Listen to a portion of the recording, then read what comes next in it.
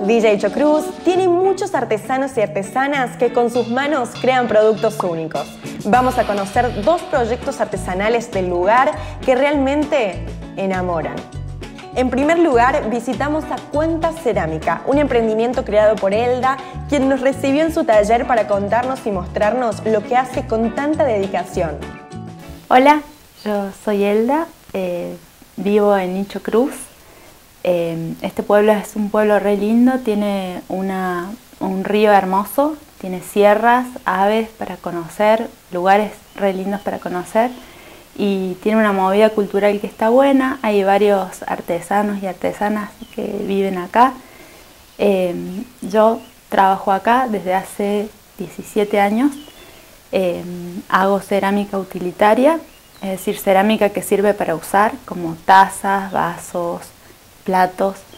Eh, trabajo en, mi casa, en mi taller, hago todas las, partes del proceso y, bueno, siempre eh, trato de, invitar al pueblo que está re lindo.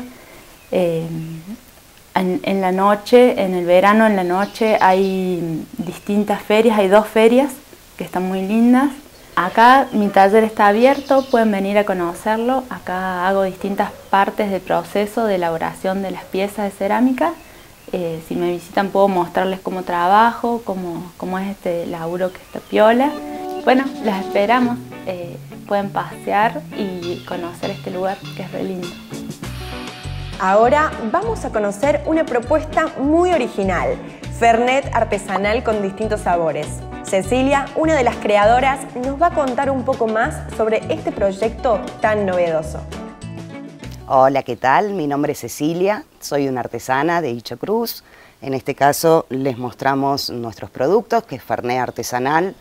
Hace cinco años que lo estamos haciendo, tenemos cinco variedades también y una variedad de americano tipo Gancia.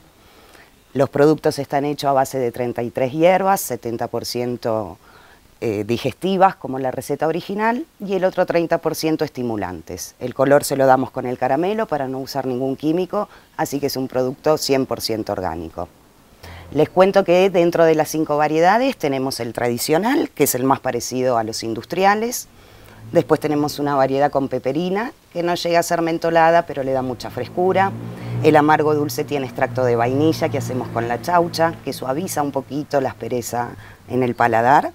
El de jengibre es un poquito más fuerte, va a dejar una nota picantita. Y el Black Honey tiene miel orgánica y menos graduación alcohólica. Los invitamos a conocer nuestra feria artesanal acá en Nicho Cruz.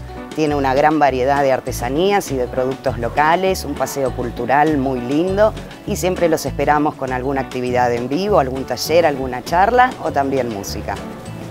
La Feria de Artesanos de Hicho Cruz tiene mucho para ofrecer.